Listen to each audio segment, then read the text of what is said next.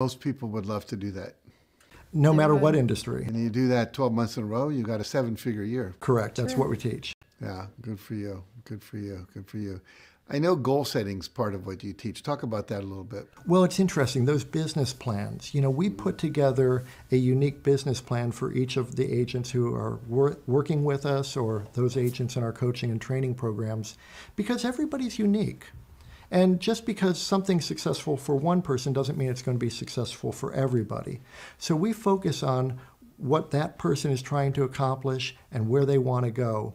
And what I love about written goals is that it's like you're visualizing where they want to be in 12 months or in 24 months, and then you're walking hand in hand with those people and seeing it all unfold in life, in their business, and and that they're achieving their dreams.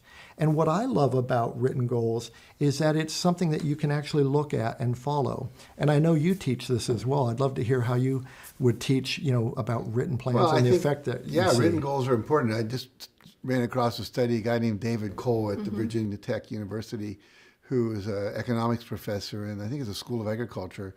And he did research and found out that people that write down their goals, don't just have them in their head, Right. but write them down, how much by when, uh, you know, specific date, specific amount, measurable by a third person. They earn nine times more over the course of their life than people who don't write their goals down. And there was another woman up at uh, Dominican University in Santa Rosa, California, Gail Matthews, who found that people who write their goals down have a much higher success than people who just think them in their head.